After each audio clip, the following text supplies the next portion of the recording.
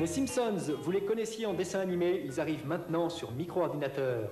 Bart, en lutte contre les extraterrestres, doit trouver différents objets et les utiliser au bon endroit. Dans ce jeu d'adresse et de réflexion, la logique prime sur l'action. Les joueurs seront véritablement accrochés, du coup les graphismes simples, les bruitages restreints passent au second plan. Les Simpsons seront très bientôt disponibles sur console.